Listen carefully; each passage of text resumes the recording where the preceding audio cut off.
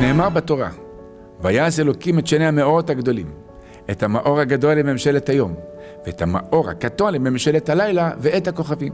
אז כבר דיברנו בשיעורים הקודמים, שבתחילה נאמר שהם היו שני מאורות גדולים. מצד שני כתוב מאור גדול ביום, מאור קטון בלילה, כלומר שזה לא שני מאורות גדולים. אז חז"ל כבר אמרו שהלבנה באה בטענה שאין שני מלכים יכולים לשמש בכתר אחד, ולכן נענשה שהקדוש ברוך הוא אמר לה, לכי מעטי את עצמך. ומה זה ואת הכוכבים? אלא הקדוש ברוך הוא הרבה את צבאה להפיס דעתה. לכאורה, ומה זה מפייס אותה שיש עוד כוכבים? הרי היא נשארה קטנה עדיין. אז במה זה מפייס את דעתה שיש עוד כוכבים שם יותר קטנים? במה זה מפייס אותה? מה זה נותן לה פיוס דעת? הרי היא נשארה באותו גודל בדיוק. אבל התשובה נפלאה. כתוב בגמרא שרבי עקיבא נשא את רחל, אשתו של כלבא שבוע.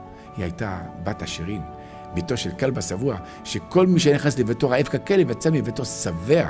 היה בעל צדקה עצוב, היה עשיר מופלג, ורחל גדלה בפינוק עצום.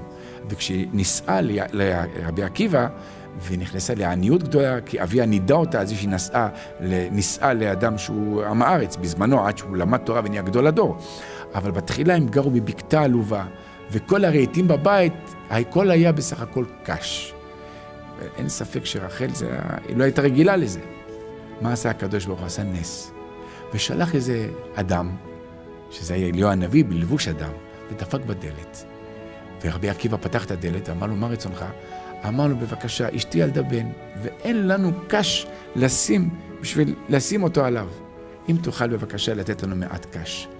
מיד רבי עקיבא לקח קש, יש לו שם ערימת קש בבית, אמר לו, בבקשה, הנה לך קש. כשהלך אליהו הנביא בדמות אותו אדם, אמר לרחל, אשתי היקרה, תראי, ברוך השם, לנו יש קש.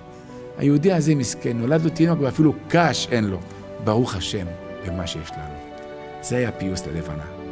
בורא עולם הרבה את הכוכבים, נתן כוכבים יותר קטנים ממנה להפיס דעתה. במה זה מפייס דעתה?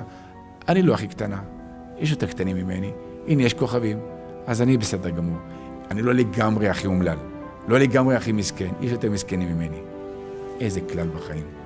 תמיד תסתכל למטה ותהיה שמח. אין לך מכונית, ההוא אין לו גם כן אופניים, לך לפחות יש אופניים.